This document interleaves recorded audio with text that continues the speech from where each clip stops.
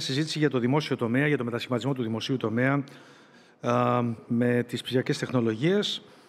Θα μας, ε, θα μας τιμήσουν με την παρουσία τους και θα τους καλέσω να πάρουν τις θέσεις τους ο κύριος Δημοσένης Αναγνωστόπουλος, ο κύριος ε, Νίκος Χριστοδούλου, η κυρία Βικτωρία Καλφάκη, ο κύριος Νίκος Μανιάτης και ο κύριος Παναγιώτης Καρακατσούλης. Ε, συντονιστής είναι ο κύριος Γιάννης Ριζόπουλος. Ε, δεν χρειάζεται να το ξαναπώ. Τους χρόνους όσο μπορούμε. Ευχαριστώ. Ευχαριστούμε. Ευχαριστούμε. Εγώ είμαι... Καθίστε. Καθίσαμε. Καλώς μας ήρθατε όλοι. Σας ευχαριστούμε που είστε εδώ μαζί μας. Ε, στρογγυλό τραπέζι που δεν είναι στρογγυλό αλλά είναι μακρύ όπως βλέπετε. Ε, Public Sector Transformation και Digital Technologies. Υπότιτλος Reform Challenges and Growth Opportunities. Δηλαδή, ε, οι προσπάθειες, οι προκλήσεις και οι ευκαιρίες. Και νομίζω ότι δεν υπάρχει άλλος χρόνος, γιατί είμαστε 25 λεπτά, φωνάζει ο κύριος Πυρτούνιας, είμαστε πέντε άτομα ε, που πρέπει να μιλήσουμε, επομένως ε, προκλήσεις μετασχηματισμού και ευκαιρίες ανάπτυξης. Κύριε Γενικέ. Τα έχετε δει όλα. Τα. Είσαστε πολλά χρόνια γενικώ, τα έχετε δει όλα. Πού πάμε, τι κάνουμε τώρα, για πείτε. Θα ήθελα μια 15 λεπτή τοποθέτηση να είχα δυνατότητα. 15 λεπτό δεν μπορείτε. θα μας δίνουν. Λοιπόν, χαίρομαι πάρα πολύ που βρίσκομαι εδώ. Το Ελληνοαμερικανικό Επιμελητήριο είναι πάντα ένας πολύ φιλόξενος αλλά και τιμητικός χώρος για να μιλάει ναι. κανείς. Ιδιαίτερα όταν μιλάει για προκλήσεις του μέλλοντος και για προκλήσεις που έχουν να κάνουν με τη σύγχρονη εποχή. Οπότε, κύριε Πρόεδρε, ευχαριστούμε πάρα πολύ για την πρόσκληση και με την παρουσία σας. Ε, Πολύ πολύ συνοπτικά θα ήθελα να πω ότι η πρόκληση για την Ελλάδα στα επόμενα χρόνια από πλευράς ψηφιακής εποχής έχει να κάνει με τη δυνατότητα όχι μόνο να ακολουθεί διεθνείς βέλτιστες πρακτικές, αλλά να δημιουργεί τέτοιες πρακτικές στο μέλλον. Αποτελώντα βεβαίως πάντα μέλος ενός σημαντικού οικοσυστήματος, σε διαφορετικές δηλαδή πλευρές της τεχνολογίας, αλλά το στίχημα είναι η δημιουργία και η εξαγωγή βέλτιστων πρακτικών τόσο σε επίπεδο εντυπώσεων και σε επίπεδο, θα έλεγα, τεχνολογικής έρευνας και εφαρμογών στη ψηφιακή διακυβέρνηση, αλλά επίσης και από πλευράς αναπτυξιακής. Κακά τα ψέματα, γιατί ακόμα και η οικονομική διπλωματία είναι αυτή που θα μπορούσε να στηρίξει κάτι τέτοιο. Και για να γίνω πιο πολύ συγκεκριμένο, στα προηγούμενα χρόνια είχαμε τη δυνατότητα να λάβουμε διακρίσεις οι οποίες είχαν να κάνουν με τη ε, δυνατότητά μας να αναμορφώσουμε το δημόσιο τομέα όπου μέσω της διαλειτουργικότητας κάθε πολίτης πια εξυπηρετείται σε κάθε νέα υπηρεσία μέσω αυτοματοποιημένης μεταφοράς δεδομένων από μια δημόσια υπηρεσία σε μια άλλη, χωρίς να χρειάζεται κάτι περισσότερο από να δώσει τη συνένεσή του. Το αν θα τη δώσει μέσα από το wallet ή όχι, και αυτό είναι πολύ σημαντικό, ε, δηλαδή μέσω από σύγχρονα τεχνολογικά εργαλεία. Το σημαντικό όμως είναι ότι ο πολίτης δεν χρειάζεται να προσκομίζει έγγραφα για να εξυπηρετηθεί. Θυμάμαι χρόνια κεντρικό, φωνάζατε για τη διαλειτουργικότητα. Και ένα χρόνια. κεντρικό σημείο διαλειτουργικότητας στη Γενική ε. Γραμματεία πληροφοριακών συστημάτων του Υπουργείου Πάντα Ψηφιακής Διακυβέρνησης.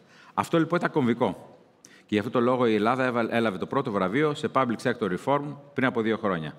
Φέτος όμως πήραμε και ένα δεύτερο, το οποίο έχει να κάνει με το Wallet. Το οποίο Wallet έδινε τη δυνατότητα στον πολίτη να κινείται μέσα στη χώρα, χωρίς να χρειάζεται να προσκομίζει βασικά έγγραφα και κυρίως βέβαια δίπλωμα οδήγησης και ταυτότητα. Να μετακινείται, να πηγαίνει να κάνει μια τραπεζική συναλλαγή Ω εκ τούτου, να μπορεί να εξυπηρετείται χωρίς να χρειάζεται να προσκομίσει κάτι περισσότερο. Γιατί αυτό είναι σημαντικό; Είναι σημαντικό για δύο λόγους.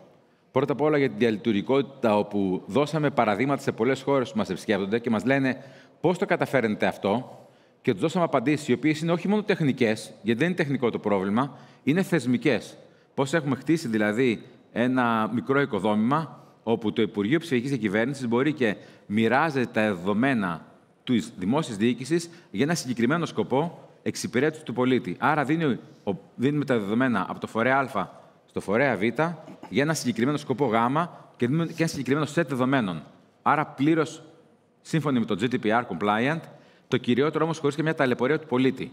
Θεσμικά το χτίσαμε με νόμους και με υπουργικές αποφάσεις και με επίσης τεχνολογικά οικοδομήματα που έχει ένα κέντρο όπου εξυπηρετεί όλη τη χώρα.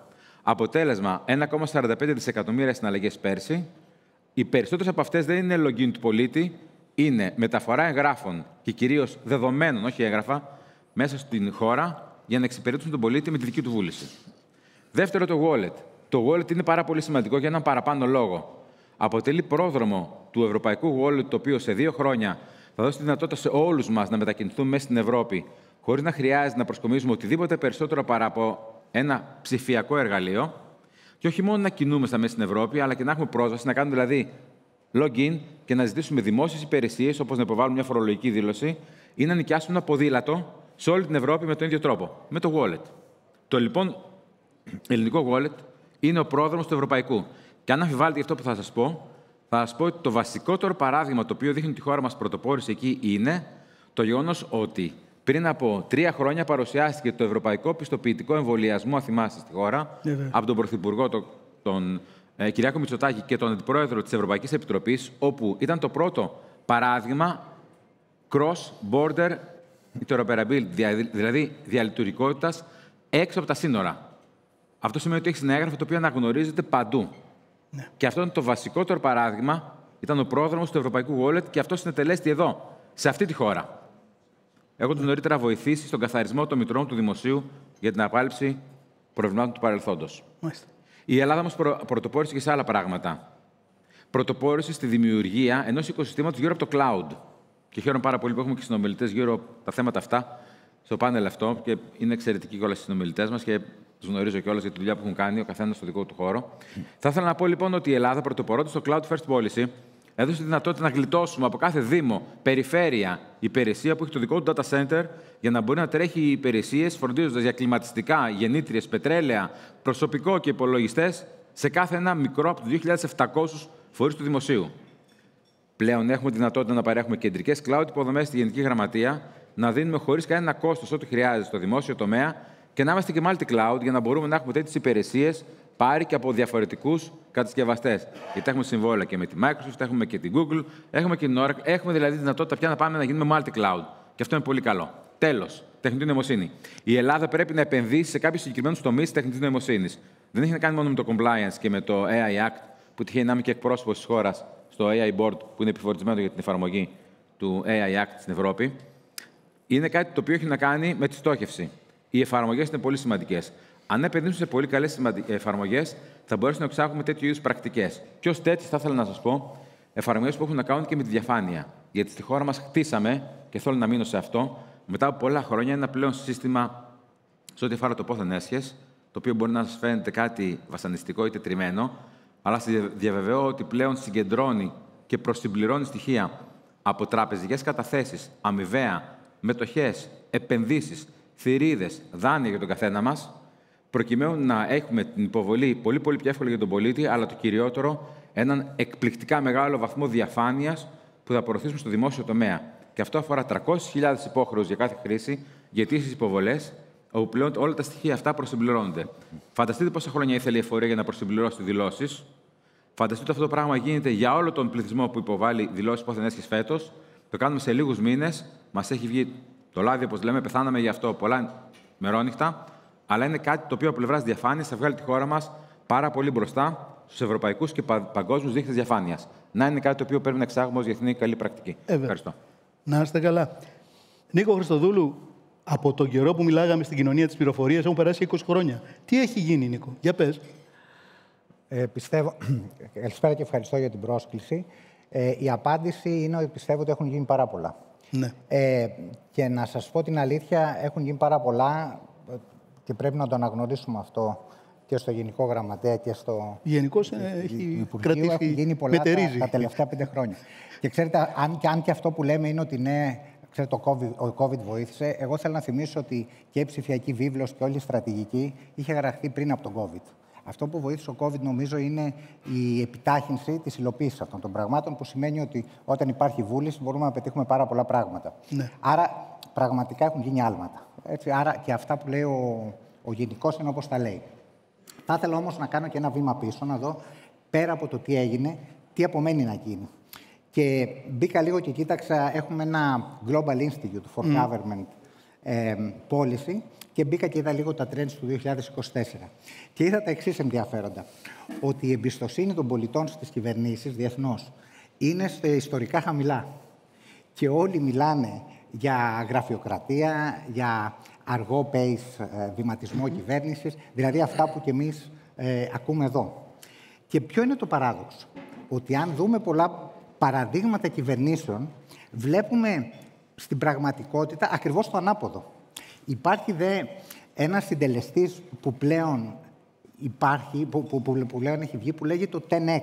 Δηλαδή, Ναι. στην ουσία, ότι μπορώ με βάση το, το digital transformation να κάνω τα πράγματα 10 φορές πιο γρήγορα ή πιο αποδοτικά ε, από ό,τι γίνονταν. Και αυτό γίνεται όχι μόνο σε τοπικό επίπεδο, αλλά και σε, μα- και σε μεγάλη Διεθνές. κλίμακα. Ναι, ναι, ναι, μεγάλη. Όπως παραδείγματος χάρη στην Ινδία που είναι αυτό το, το digital identity, το ADR, το οποίο έδωσε τη δυνατότητα στην Ινδία τώρα, στο μεγαλύτερο πληθυσμό του- της γης, έτσι, το 80% του κόσμου να πάρει digital identity και τραπεζικό λογαριασμό μέσα σε 5 χρόνια, όταν αλλιώς θα ήθελε 50 χρόνια για να γίνει. Άρα, στην ουσία, πραγματικά, ο ψηφιακός μετασχηματισμός αλλάζει το τοπίο της, ε, ε, σε μια κυβέρνηση και σε μια χώρα. Όμως θα ήθελα να πω και το εξής. Ο ψηφιακός μετασχηματισμός δεν είναι αυτός σκοπός για την κυβέρνηση για να εξυπηρετηθούν οι πολίτες. Οι έρευνες αυτό που λένε είναι ότι υπάρχει άμεση συσχέτιση ανάμεσα στον ψηφιακό μετασχηματισμό μιας χώρας και στην ανάπτυξη της οικονομίας, στην πορεία της οικονομίας. Δηλαδή, αν θέλουμε αύριο η πορεία της οικονομίας της Ελλάδας να πάει καλύτερα, είναι μονόδρομος να συνεχίσει γίνει αυτή την πρώτα. προσπάθεια πάνω στον ψηφιακό μετασχηματισμό.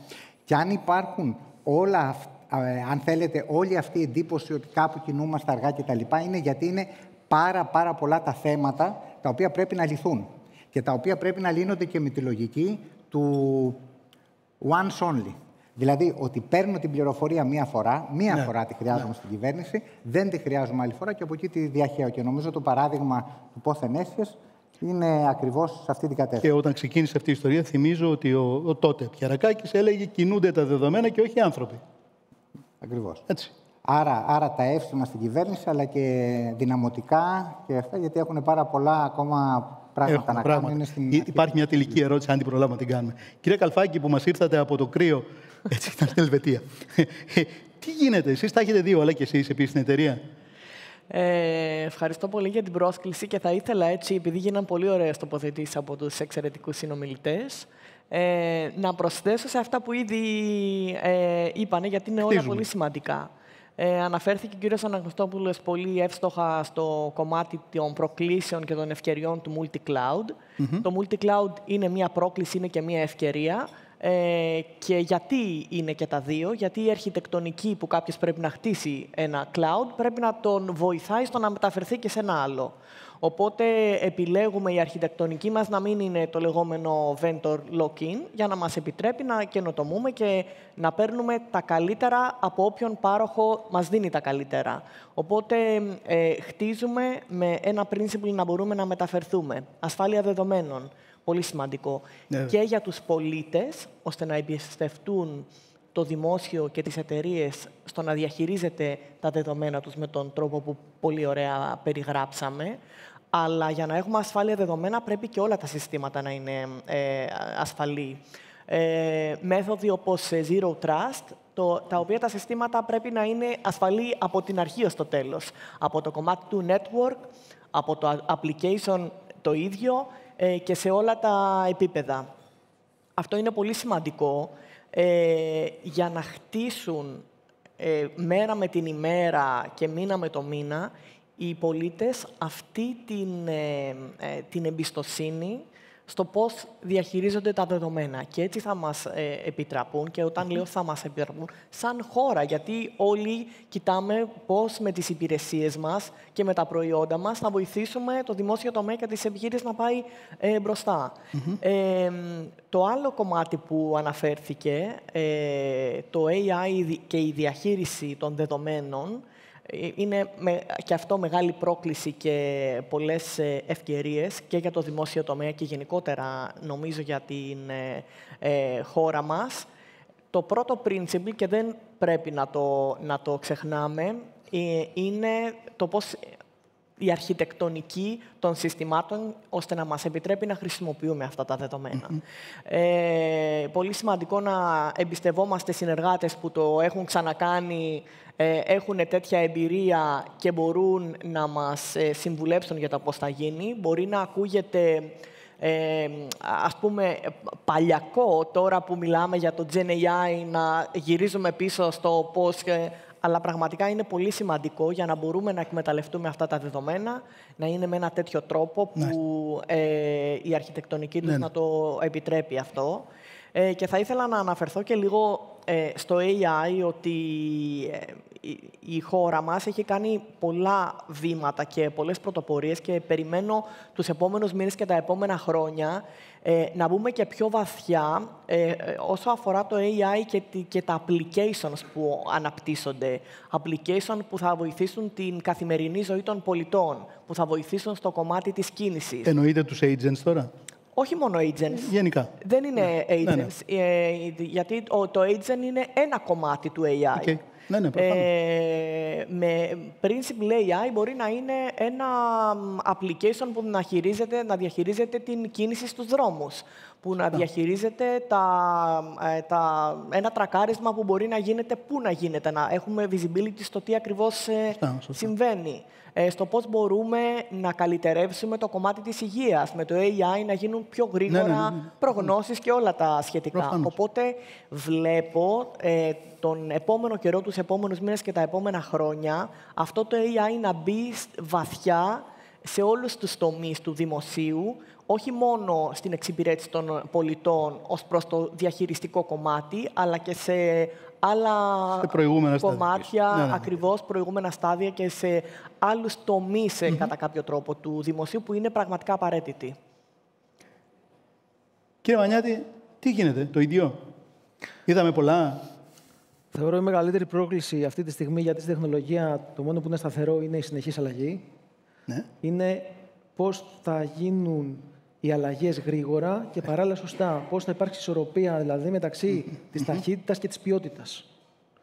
Και τι σημαίνει σωστά, σημαίνει με ασφάλεια, γιατί τα συστήματα αυτά έχουν ευαίσθητα δεδομένα, οπότε πρέπει όλες οι αλλαγές να γίνονται με τρόπο ασφαλή. Σημαίνει με τρόπο που δεν θα δημιουργήσουμε νέα silos, αλλά θα υπάρχει ε, μελλοντική αναβάθμιση των συστημάτων και διασ- interoperability, όπως το κέντρο διαλειτουργικότητας που έχει αναπτύξει η Γενική Γραμματεία, να μπορούν δηλαδή νέες εφαρμογές να μην δημιουργήσουμε νέα silos όπως το παρελθόν. Ε, Να είναι ανοιχτά τα συστήματα για να συνδέονται. Και το ίδιο και στο κομμάτι της τεχνητής νοημοσύνης. Έχει μεγάλη... Το μέλλον της τεχνητής νοημοσύνης είναι ανοιχτό. Πρέπει δηλαδή τα συστήματα που θα φτιάξουμε γύρω από τεχνητή νοημοσύνη να βασίζονται σε μοντέλα τα οποία δίνουν τη δυνατότητα και οι δημόσιοι φορείς αλλά και οι ιδιωτικοί φορείς να εμπιστευτούν τα δικά τους δεδομένα με σκοπό να δημιουργηθεί προσθέμενη αξία. Και όχι να κάνουμε μία από τα ίδια για να, και να μην δημιουργήσουμε ανταγωνιστικό πλεονέκτημα για τη χώρα και για τις εταιρείες μας. Οπότε, όσο πιο ε, έμπιστα είναι τα μοντέλα που θα χρησιμοποιήσουμε, τόσο πιο ε, γρήγορα θα φύγει αυτή η πρόκληση της εμπιστοσύνης για την τεχνητή νοημοσύνη που κάποιες φορές φοβίζει. Ναι. Και το, το ε, AI Factories που πολύ πετυχημένα ε, θα υλοποιήσει, ευελπιστούμε, η Cross my fingers. ομάδα, η ομάδα και του Υπουργείου και των ερευνητικών κέντρων που έχουν καταθέσει την πρόταση, βασίζεται σε αυτές τις αρχές. Οπότε είναι μια τεράστια ευκαιρία για τη χώρα να καινοτομήσει και να δημιουργήσει μια τεράστια ομάδα, οικοσύστημα καινοτομίας γύρω από, Οικοσύστημα, από, αυτό το, όπως το λέτε. από αυτό το τομέα. Οικοσύστημα με πυρήνα το AI. Ακριβώς. Ε, τώρα, άλλη μια πρόκληση ε, που θεωρώ σημαντική είναι το κομμάτι της ε, οργανωτικής αλλαγής. Δηλαδή, ο ψηφιακός μετασχηματισμός δεν είναι μόνο μετασχηματισμός τεχνολογίας. Αποτελεί και μια πρόκληση του πώς θα αλλάξουμε τις διαδικασίες μας. Έτσι. Το- Και ειδικά στο δημόσιο, που είναι αρκετά πιο δύσκολο και ε, ε, απαιτητικό να αλλάξεις το operating model που λέμε ε, πρέπει δηλαδή, όπως κάνουν και ιδιωτικές εταιρείες, μαζί με τεχνολογία αλλάζουν και το, και το διαδικαστικό, με συμβουλευτικές εταιρείες καλή ώρα ε, που στοχεύουν ακριβώς σε αυτό το τομέα, να κοιτάξουμε πώς θα μπορέσουμε τις διαδικασίες μας να τις τροποποιήσουμε για να ταιριάξει η τεχνολογία. Γιατί η τεχνολογία αυτή καθ' αυτή δεν είναι η λύση. Χρειάζεται αλλαγή. Και παράλληλα μαζί με αυτό δεξιότητες. Πρέπει να επενδύσουμε δηλαδή στους ανθρώπους μας να φτιάξουν νέες δεξιότητες σε αυτές τι νέες τεχνολογίες για να μπορέσουν να απορροπηθούν μέσα στο νέο οργανωτικό μοντέλο. Ναι. Ωραία. Αυτό όσον αφορά τις προκλήσεις. Όσον αφορά τις ευκαιρίες, εγώ είμαι εξαιρετικά αισιόδοξος. Πάντα η τεχνολογία φέρνει νέα ποιότητα ζωή, καλύτερη ποιότητα ζωής. Θεωρώ ότι θα βελτιωθεί άρδιν η ποιότητα ζωής αξιοποιώντας αυτές τις τεχνολογίες. Ε, είπαμε παραδείγματα ήδη με την ταχύτητα, το, την εξυπηρέτηση των πολιτών με το πόθεν έσχες ή δικαιοσύνη. Δεν υπάρχει μεγαλύτερο equalizer από την τεχνολογία. Ε, στο φορολογικό ήδη υπάρχουν παραδείγματα. Ε, στη φορολογική βάση διευρύνεται χρησιμοποιώντας τεχνολογία. Ε, σε διάφορα κομμάτια ε, στο κτηματολόγιο. Όλο ναι. αυτό που χαρτογραφείται η χώρα. Υπάρχουν δηλαδή παραδείγματα που θα εμπεδοθεί εμπιστοσύνη και δικαιοσύνη χρησιμοποιώντας τεχνολογία.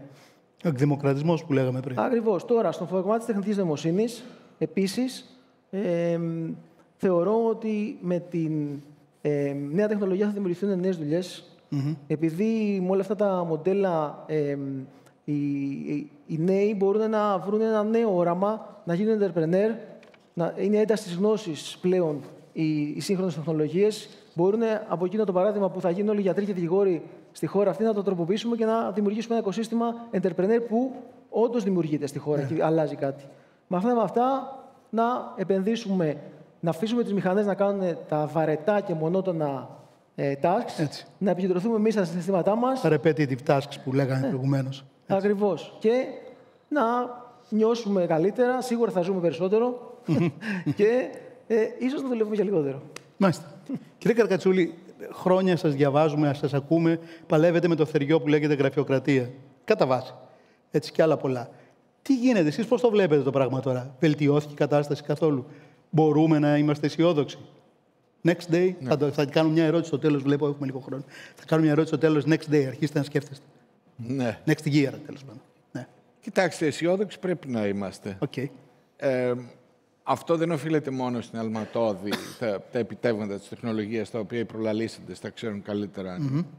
Ε, αλλά οφείλεται στο ότι υπάρχουν διαδικασίες οι οποίες μας επιτρέπουν να είμαστε αισιόδοξοι. Δηλαδή, mm-hmm η μεγαλύτερη ενσωμάτωσή μας στον ευρωπαϊκό χώρο, να το πω έτσι απλά, ε, μας βοηθάει ούτως ώστε να μπορούμε να βλέπουμε περισσότερα παραδείγματα, να μαθαίνουμε από τους άλλους, από τους συναδέλφους μας και να τα υιοθετούμε πολύ γρηγορότερα. Η ροή της πληροφορίας είναι ταχύτατη και έτσι εκείνα που πριν από 20 χρόνια σχεδιάζαμε ή συζητάγαμε, θυμάμαι τον Νίκο του Χριστοδούλου για παράδειγμα, ε, ήταν αρχαίες καταστάσεις. Δηλαδή θυμάμαι ότι συζητάγαμε στο δεύτερο κοινωνικό πλαίσιο στήριξης. Γι' αυτό του θύμισα εγώ την κοινωνία της πληροφορίας 20 χρόνια πριν. Γι' αυτό. Το ε, παρατηρητήριο. Ε, ναι. ναι, θα φτιάξουμε τις λεωφοριοδρόμους. θα δούμε τι Πάρα πολύ καλά θυμάστε. Η λεωφορεία θα τρέχουν εκεί μέσα. Λοιπόν, προφανώς υπάρχουν αυτά τα θετικά και προφανώς πολλά από αυτά έχουν φτάσει σε επίπεδο ε, θα σας έλεγα καθημερινότητας, όπως πολύ σωστά τα ανέφεραν οι προαλήσεις και ειδικά ο Γενικός, ο οποίος τα έχει παρακολουθήσει. Και τα βλέπουμε και τα εισπράττουν. Αυτό είναι θετικό. Το κακό της υπόθεσης είναι ότι και τα προβλήματα που εμφανίζονται είναι πολύ πιο άγρια, θα έλεγα, από εκείνα που είχαμε συνηθίσει. Δηλαδή το περιβάλλον είναι εξαιρετικά μετάβλητο και πολύ δύσκολο. Αρκεί να αναφέρω μόνο την κλιματική αλλαγή και, εν πάση περιπτώσει, τους κινδύνους και τις καταστροφές οι οποίες είναι συνδεδεμένοι με αυτή. Άρα, αν κάποιος μου έλεγε, κοίταξε να δεις, δεν έχουμε όμως φτιάξει τα περιφερειακά προγράμματα πολιτικής προστασίας. Γιατί πρέπει ο καθένας, ο κάθε δήμος, κάθε περιφέρεια πρέπει να φτιάξει ένα σχέδιο με βάση τις τροτότητες που έχει εκεί και τις ευαλωτότητες του κτλ. για να μπορέσει να αντιμετωπίσει, να μειώσει τον κίνδυνο. Αντιλαμβάνομαι ότι αυτό έχει προκύψει ως πρόβλημα και τρέχει πιο γρήγορα από ό,τι τρέχουν οι προσπάθειές μας να το ελέγξουμε. Γιατί άμα κοιτάξει κανείς τα πέντε τελευταία χρόνια, θα δει ότι γίνονται προσπάθειες. Δεν μπορεί. Έχουμε αυτή τη στιγμή ένα προπολογισμό μόνο για τα θέματα της πολιτικής προστασίας που ξεπερνάει τα 2 δισεκατομμύρια. Έχουμε μέσα. Όμως το πρόβλημα εξακολουθεί να παραμένει και το βλέπουμε και το βιώνουμε διαρκώς. Και αυτό το εισπράττουν και οι άλλοι, οι πολίτες εννοώ, εμείς, έτσι το εισπράττουμε αρνητικά. Αυτό είναι ένα πράγμα. Ένα δεύτερο πράγμα είναι ότι ο συντονισμός πλέον από εκεί που ήταν, ε, θα σας έλεγα κάτι πολύ sophisticated και πώς μπορεί να γίνει κτλ. Τώρα είναι στο πεδίο. Δηλαδή, ή συντονίζεις κέντρο, περιφέρεια, τοπικό, ιδιωτικό τομέα και εθελοντές όλους μαζί ή χάθηκες. Δηλαδή, η πίεση πια που μας βάζουν τα ίδια τα προβλήματα, τα ίδια τα γεγονότα είναι τόσο μεγάλη που πρέπει να τρέξουμε. Να το πούμε τεχνολογικά, είναι στο edge πλέον. Ναι, ναι. Κανονικά. Ακριβώς, Εκεί πρέπει να γίνει. Ακριβώς. Αυτό όμως δεν το έχουμε πετύχει. Γιατί ναι, αν δείτε τις προσπάθειες που κάνουμε για τη λεγόμενη πολυεπίπεδη διακυβέρνηση, είμαστε μακριά ακόμα γιατί μας βασανίζουν παλιά προβλήματα που είναι άλυτα. Από αυτά τα άλυτα προβλήματα, ίσως το μεγαλύτερο, είναι αυτό που όσο και να φαίνεται παράδοξο σε ένα τρίτο όταν προσπαθείς να το εξηγήσεις, είναι πραγματικό πρόβλημα, είναι η επικάλυψη των αρμοδιοτήτων. Λοιπόν, αυτό οφείλεται στο ότι οικοδομήθηκε το κράτος με έναν τρόπο που είναι θραυσμένες οι αρμοδιότητες και πολύ συχνά επικαλύπτουν. Θα μου πείτε τώρα, έχουμε τεχνητή νοημοσύνη, έχουμε τόσα μέσα κτλ. Προφανώς αυτά είναι εργαλεία τα οποία μπορούν να βοηθήσουν πλην όμως ακόμα είμαστε στην κουβέντα για αυτά. Οπότε και εκεί πρέπει να τρέξουμε. Και το τελευταίο που θέλω να πω είναι άμεσα συνδεδεμένο με τα προηγούμενα, έχει να κάνει με την περίφημη απλούστευση των διαδικασιών. Ακούμε πάρα πολύ ωραία πράγματα για την απλούστευση των διαδικασιών και γίνεται όντως. Από την άλλη τη μεριά, όταν κάποιος έχει μια αίσθηση του εύρους του πεδίου, δηλαδή μιλάμε αυτή τη στιγμή για καταχωρημένες περίπου 4.000 διοικητικές διαδικασίες. Το Ναι, στο ΜΗΤ. Ναι, ναι. Λοιπόν, όπου βεβαίως έχουν τα προβλήματά τους. Έτσι, τι αποτυπώνεις, πώς το αποτυπώνεις, με ποια μέθοδο κτλ. κτλ. Αλλά εκεί βλέπετε ότι υπάρχει ένα πεδίο που ε, ε, μοιάζει λίγο με λερναία ύδρα. Δηλαδή, του κόψεις ένα κεφάλι, βγαίνουν 10. Αυτό το λέω γιατί εντωμεταξύ η παραγωγή η νομοθετική δεν βρίσκεται πάντοτε στην ίδια κατεύθυνση με αυτή που βρίσκεται ο εκτελεστής μιας διοικητικής Δηλαδή μπορεί να προσπαθούν ε, οι άνθρωποι που ασχολούνται με την απλούστευση των διαδικασιών να πλουστεύουν όντως, αλλά κάποιος από την άλλη μεριά είναι generator, γεννάει. Έτσι. Αυτός που γεννάει λοιπόν έχει και αυτός κανόνες, το παράδειγμα ας πούμε της καλής νομοθέτησης. Δηλαδή να μετράμε το impact των νόμων σε πράγματα τα οποία πάμε να νομοθετήσουμε. Έτσι. Ε, αυτό δεν συμβαίνει πάντα και πολλές φορές παρακάμπτεται. Άρα εν ολίγης, τα παλιότερα προβλήματα, τα οποία εξακολουθούν να είναι, δεν είπα τίποτα για το ανθρώπινο δυναμικό, γιατί είναι μια πολύ μεγάλη κουβέντα, πρέπει χώρια να την κάνουμε. Αν έπρεπε να πω ένα πράγμα, είναι ότι εκπαίδευση, εκπαίδευση, εκπαίδευση. Δηλαδή, αυτή τη στιγμή τίποτα άλλο δεν θα μπορούσα να πω πιο ε, πιεστικό όσον αφορά το ανθρώπινο δυναμικό. Τα υπόλοιπα, τις κινητικότητές του και τα λοιπά, τις αμοιβές του, όλα αυτά είναι σοβαρά πράγματα, αλλά πολύ πιο σοβαρό σε σχέση με τα προβλήματα που λέμε, είναι το θέμα της εκπαίδευσής τους. Education στον κύβο, λοιπόν. Τώρα η ερώτηση. Έχουμε τίποτα, λίγα δευτερόλεπτα, αλλά τουλάχιστον θα πάρουμε δύο λεπτά, μου τα έχουν τάξει. Λοιπόν, πάμε σε, σε δύο χρόνια τι. Δεν λέω τρία και πέντε και δέκα, δεν ξέρει κανένας. Σε δύο χρόνια τι, πού θα είμαστε; Κύριε Καργατσούλη. Γρήγορα. Εμένα ρωτάτε. Κοιτάξτε, εγώ πιστεύω ότι σε δύο χρόνια από τώρα θα έχουμε καταφέρει να φτιάξουμε σε επίπεδο περιφέρειας και συντονισμού mm. καλύτερους μηχανισμούς άρθρωσης των πολιτικών, των δημόσιων πολιτικών, πράγμα το οποίο το θεωρώ πάρα πάρα πολύ σημαντικό. Ε, αυτό θα έλεγα ότι είναι αυτή τη στιγμή το μείζον. Από εκεί και πέρα, ό,τι γίνει στην κατεύθυνση ανάπτυξης του ανθρώπινου δυναμικού, δηλαδή της εκμετάλλευσης τρομερών δυνατοτήτων, μιλάμε για πάνω από 16.000 διδακτορικά, μεταπτυχιακά κτλ. Είναι κρίμα αυτός ο πληθυσμός να κάθεται. Αυτό μπορεί να αξιοποιηθεί. Κύριε Μανιάτη. Θα έχουμε, πιστεύω, φτιάξει το υπόβαθρο, τις υποδομές, τις πλατφόρμες, τα μητρώα, τα δεδομένα, για να μπορέσουμε πραγματικά μετά να καινοτομήσουμε με τις νέες τεχνολογίες. Και για να το κάνουμε αυτό, πρέπει να αλλάξουμε και λίγο κουλτούρα, κατά τη γνώμη μου, να γίνουμε πιο συνεργατικοί μεταξύ μας, ειδικά επειδή η Ελλάδα έχει πάρα πολλές μικρομεσαίες επιχειρήσεις. Οπότε, αν δεν υπάρχει κλίμακα, και κλίμακα για να υπάρξει πρέπει να γίνουν ή συγχωνεύσεις ή συνεργασίες, δεν θα μπορούσαμε να καινοτομήσουμε. Ναι. Μια μικρή εταιρεία δεν μπορεί να καινοτομήσει με πέντε άτομα και με δύο εφαρμογές. Πρέπει να γίνουν πιο διευρυμένα τα πράγματα. Μάλιστα. Κυρία Καλφάκη. Δίνουμε στα χέρια των Brilliant Minds, φοιτητών ε, Ελλήνων, Next ε, Όπως και το Research Center σε αυτές τις υπέροχες πλατφόρμες, όπως το Google Cloud, για να δημιουργήσουν καινοτομία. Και αυτό θα μας λύσει πολλά προβλήματα. Μάλιστα. Κύριε Χρυστοδούλου. Ε, το ρεαλιστικό είναι ότι θα, έχουμε, θα είμαστε πολύ ακόμα σύγκλησης με την ε, Ευρωπαϊκή Ένωση. Δεν έχουμε φτάσει ακόμα στο μεσό. Θα είμαστε σε καλύτερη πορεία σύγκλησης. Αυτό όμως που θα ευχόμουν είναι πραγματικά να, να μπορούσαμε αυτά τα δύο χρόνια να κάνουμε το leapfrogging. Νομίζω είναι μια τρομερή ευκαιρία που έχουμε, τρομερή ευκαιρία. Το ότι είμαστε πίσω μας δίνει αυτή τη στιγμή τη δυνατότητα να βγούμε μπροστά. Το εύχομαι, το εύχομαι, είναι πάρα πολύ δύσκολο για όλους τους λόγους που αναφέρθηκαν. Μακάρι, Μακάρι να γίνει. Κύριε Γενικέ. Επόμενα δύο χρόνια. Ναι. Δύο θέματα. Να συνεχίσει η χώρα να δημιουργεί βέλτιστες διεθνείς πρακτικές και μάλιστα να ενσωματώνει στη χώρα μας μέσα την κουλτούρα η οποία θα, θα, θα πάει και προς τον ιδιωτικό τομέα. Όπως με το cloud, πολλές επιχειρήσεις μπήκαν στο cloud επειδή δεν τι κάνει το κράτος, το δημόσιο δηλαδή, αντίστοιχα και με την τεχνητή νοημοσύνη και με άλλες πρακτικές, πιστεύω θα μπορούσαν να μεταλαμπαδευτούν στον ιδιωτικό τομέα, λαμβάνοντας υπόψη καλά παραδείγματα από τον ε, Το δημόσιο. δημόσιο τομέα. Και το πιο σημαντικό είναι να μπορέσουν τα έργα τα οποία έχουν ξεκινήσει να ολοκληρωθούν με μια σωστή ποιότητα από τους αναδόχους, σε συνεργασία προφανώς με τους δημόσιους φορείς, έτσι ώστε και να εξυπηρετήσουν τον σκοπό που έχουν προβλεφθεί να εξυπηρετούν. Το δεύτερο όμως να το κάνουν με έναν τρόπο ο οποίος πραγματικά θα βοηθήσει τη χώρα να κάνει αυτό το, το άλλο προς τα μπροστά που λέει ο κ. Χρυστοδούλου, κυρία Καλφάκη, κ. Βανιάτης, ο κ. Καρδιώτη. Δηλαδή να κάνουμε όλοι τη δουλειά μας καλά, προκειμένου να πάμε μπροστά, ο καθένας στο δικό του τομέα που είναι ειδικός. Γιατί ξέρετε, αυτό το πάνελ έχει το καλό ότι είναι ειδικοί άνθρωποι ο καθένας σε ένα συγκεκριμένο τομέα που έχουν πολύ σημαντικές επιτυχίες και θέλουν αυτό που έχουν κάνει και στο παρελθόν το δουν να, να είναι ένας τομέας που θα πετύχουμε και στο μέλλον. Μάλιστα. Και ιδιαίτερα και το δημόσιο τομέα κιόλας έχετε κάνει πολύ σημαντικά πράγματα. Πιστεύουμε στην απλοποίηση να έχουμε και ακόμα περισσότερα κάνει στο μέλλον. Ένα καλύτερο μέλλον, λοιπόν. Να είστε καλά. Ευχαριστούμε. Ευχαριστούμε πολύ. Ευχαριστούμε, Νίκο μου.